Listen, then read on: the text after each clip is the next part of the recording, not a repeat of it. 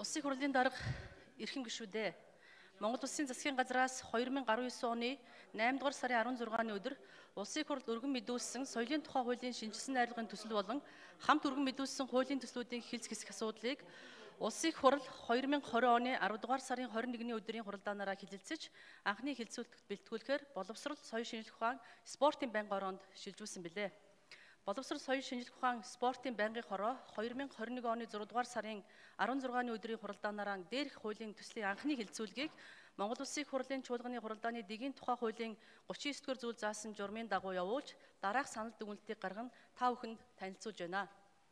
Боловсрол соёл шинжилх ухаан спортын байнгын хорооны 2020 оны 3 дугаар сарын тогтоол 3 дугаар тогтоолоор тогтоолоор хуулийн төслүүдийг байнгын хорооны болон нэгдсэн чуулганы хуралдааны хилцүүлэх бэлтгэх үүрэг бүхий ажлын хэсгийг Улсын хурлын гишүүн мөнх цэцгээр ахлуулан Улсын хурлын гишүүн Пи Ануужин Баяр сайхан Ган хуйг Дамдын ям Жаргалма Ундрам нарын бүрэлдэхүүнтэйгээр байгуулан ажиллуулж ажлын хэсгээс хуулийн төслийн талаар гаргасан саналаа байнгын хорооны хуралдаанд танилцууллаа.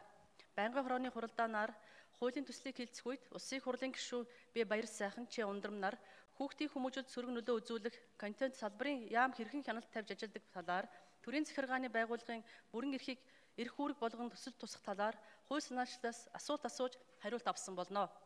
Байнгын хорооны хуралдаанаар ажлын хэсгийн бэлтгэсэн нийт 78 зарчмын зөрүүтэй саналын томьёол тус бүрээр санал хураалт явуулсан бөгөөд хуулийн төслийн зорилт тусгагдсан бодлогын асуудлыг зүйл болгон нэмж бүх шатанд хууль соёлын хууль тогтоомжийн хэрэгжилтэнд хяналт тавьж аймаг дүүргийн мэрэгжлийн хяналтын байгууллагад соёлын хяналтын улсын байцаагч ажиллахаар түүнчлэн Монголын соёлын давтагчгүй шинжийг тодорхойлох, хамгаалах хүрээнд төрөөс тусгайлан дэмжлэг үзүүлж соёлын үйл ажиллагааны чиглэлийг зааж, соёл судал, соёлын боловсролын үйл ажиллагааг өргөжүүлж, соёлын үнэт зүйлийн бүртгэл, үнэлгээний асуудлыг зохицуулах, гадаадын хамтын ажиллагааг хөгжүүлэх, соёлын салбар дахь түншлэн соёлын үйл ажиллагааг дэмжих, хөгжүүлэх, соёлын бүрэлдэхүүн үйлчлэгийг нэмэгдүүлэхэд чиглэсэн бүх хэлбэрийг хангасан байх ба оюуны бүтээлч үйл ажиллагаа, санхүүгийн шинжилгээ ухаан, технологийн болон хүний их нөөцийг багтаасан төрийн болон төрийн бус байгууллага, хувийн хөвшил, иргэний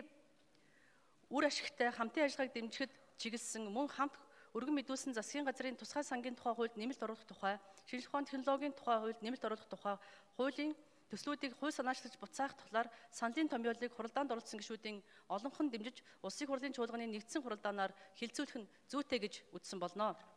Монгол Улсын засгийн газраас өргөн мэдүүлсэн соёлын тухай хуулийн шинжилсэн найруулгын төсөл болон хамт өргөн мэдүүлсэн бусад хуулийн төслүүдийн анхны хилцүүлгийг явуулсан талаарх тус байнгын хорооны санал дүгнэлт зарчмын зөрүүтэй саналын томьёолыг та бүхэнд тараасан болно. Улсын хурлын эрхэм гишүүдээ соёлын тухай хуулийн шинжилсэн найруулгын төсөл болон хамт өргөн мэдүүлсэн хууль хүчингүй болсон тооцох тухай, ашигт малмлын тухай хуульд нэмэлт оруулах тухай, газрын тухай хуульд нэмэлт оруулах тухай, газрын төлбөрийн тухай хуульд нэмэлт өөрчлөлт оруулах тухай, гэр бүлийн тухай хуульд нэмэлт оруулах тухай, засгийн газрын тусгай сангийн тухай хуульд нэмэлт оруулах тухай, зөрчлийн тухай хуульд өөрчлөлт оруулах тухай, номын сангийн тухай хуульд нэмэлт оруулах тухай, соёлын өвийг хамгаалах тухай хуульд нэмэлт оруулах, нэмэлт өөрчлөлт оруулах тухай, улсын тэмдэгтийн хураамжийн тухай хуульд нэмэлт оруулах тухай, хүүхэд хамгаалах тухай хуульд нэмэлт оруулах тухай, шинжлэх ухааны технологийн тухай хуульд нэмэлт оруулах тухай хуулийн төслүүдийн анхны хилцүүлгийг явуулсан талаарх боловсрол соёл шинжлэх ухаан спортын байнгын хорооны санал дүгнэлт зарчмын зөрүүтэй саналын томьёолыг хилцсэн шийдвэрлэж өгөхийг та бүхнээс хүсье. Анхаарал тавьсанд баярлалаа.